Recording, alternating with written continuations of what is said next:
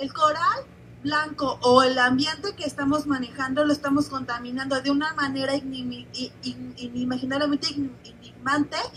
Esto quiere decir que el coral blanco se está maltratando. Eh, por eso son las algas rojas.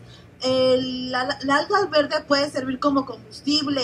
El carro solamente usamos el petróleo realmente. Si supiéramos manejar un buen gobierno, necesitamos nada solar, lenguas náhuatl y son maternas aztecas, porque es lo que conservan todo. Y si conserváramos nuestros bosques,